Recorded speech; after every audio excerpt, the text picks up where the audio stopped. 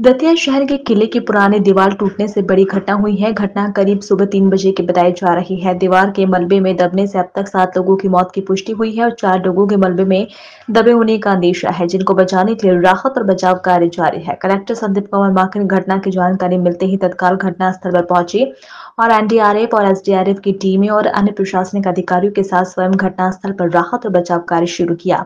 दो दिन से हो रही बरसात के चलते घटना होने की बात सामने आ रही है। मरने वालों की संख्या बढ़ भी सकती है।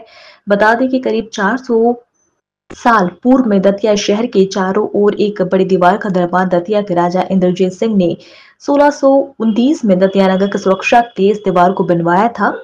इस रर में चार दरवाजे थे और सात खिड़कियाँ थी। इस दीवार को लोग रर कहते हैं। इसी रर को तुड़वाकर अब रिंग रोड का निर्माण करवाया जा रहा है, जिसका निर्माण अभी भी जारी है। उसी रर का एक हिस्सा दो दिन से हो रही बरसात में अचानक से टह गया, जिसमें आसपास के रहवासी किशन, पुत्र पन्ना, लाल वंशकार और निरंजन वंशकार का परिवार दब गया। किले की दीवार के मलबे में करीब एक दर्जन रहवासी दब गए। दीवार में दबने से अब तक सात लोगों की मौत हो चुकी है। इसमें एक ही परिवार के निरंजन वंशकार और उनकी पत्नी के साथ दो पुत्र और एक बेटी की मृत्यु हो गई है। मलबे में चार लोगों के दबने की आशंका है। दतिया कलेक्टर संदीप कुमार माकी ने बताया कि दो तीन दिन से हो रही बरसात के कारण ये हादसा हुआ है। राहत और बचाव कार्य जारी है। घायलों का रेस्क्यू करके उन्हें अस्पताल में भर्ती कराया गया है। मौके पर राहत और बचाव कार्य जारी है। घटना की जानकारी मिलते ही ग्वालियर रेंज के पुलिस महानिरीक्षक दतिया घटनास्थल पर पहुँचे और राहत और बचाव कार्य का मुआयना किया। मुख्यमंत्री के निर्देशों पर दतिया शहर के खलकापुरा मोहल्ला में हुई दीवार गिरने से सात लोगों को मृत्यु पर कलेक्टर संदीप कुमार माकिन द्वारा प्रत्येक परिवार को चार लाख रुपए की आर्थिक सहायता प्रदान करने का ऐलान किया गया है। शिवराम सिंह राठौर की रिपोर्ट बड़े बड़े खंडे हैं, तीन फुट बाई तीन फुट बाई। वो दीवार बरसात जो अपनी छत्तीस घंटे से लगभग हो रही थी, उसके कारण ढह गई। और उसके नीचे एक वंशकार परिवार था, उसके नौ सदस्य थे, वो उसके नीचे दब गए।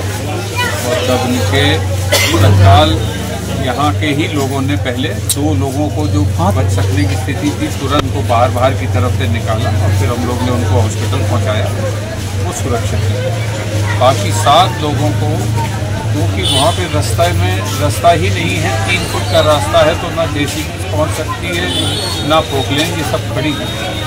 वो पॉसिबल नहीं था तो एसडीआरएफ को तुरंत कॉल किया गया एसपी साहब और मैं तुरंत आ गए थे एसडीएम भी आ गए, सभी अधिकारी पहुँच गए थे। और उसके बाद एसडीआरएफ की मदद से तीन शवों को निकाला जा सका।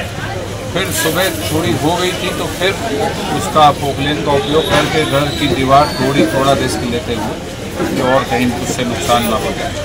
और फिर अब जाके पौने एक बारह चालीस हो रहा है, बारह पैंतीस चालीस। इस समय जाके सातों शवों को निकाला गया माननीय मुख्यमंत्री जी ने इसमें विशेष चिंता व्यक्त की। उनके द्वारा ये घोषणा की गई है कि जो है सभी मृतकों के लिए जो सरकार के नियम है, उसके तहत चार चार लाख रुपये की राशि उनको दी जाएगी। और सच में बहुत दुखद घटना है। और ये भी चाहते हैं कि शहर के अंदर ऐसी घटना और ना हो।